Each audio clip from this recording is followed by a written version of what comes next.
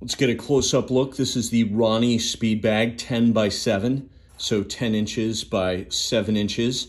Great shape, definitely teardrop shaped, has the Roni R, the backwards R, the forwards R.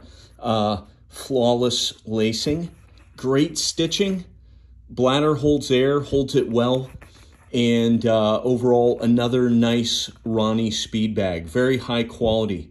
This is far nicer than the mass-produced bags that you usually buy.